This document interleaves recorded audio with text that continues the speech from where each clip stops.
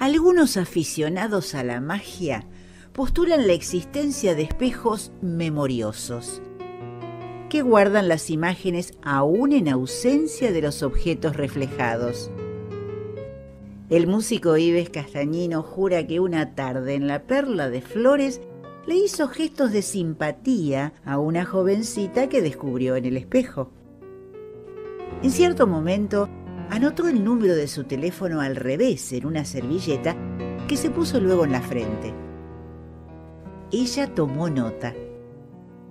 Suponiéndose aceptado, se dio vuelta para proseguir la seducción en forma directa.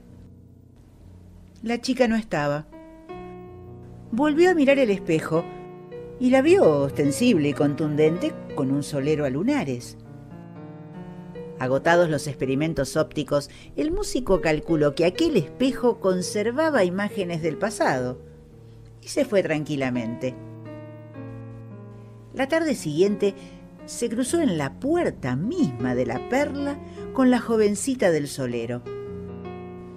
Después de filosofar brevemente, creyó entender que el espejo no reflejaba el pasado, sino el futuro. La confitería estaba desierta. La chica se sentó en la misma mesa del día anterior.